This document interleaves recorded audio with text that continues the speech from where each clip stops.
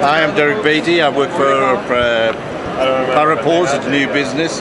We've invented cases that clean. So just a few finger marks on your phone, insert it into your case, eject it, and cleans. Normal daily use,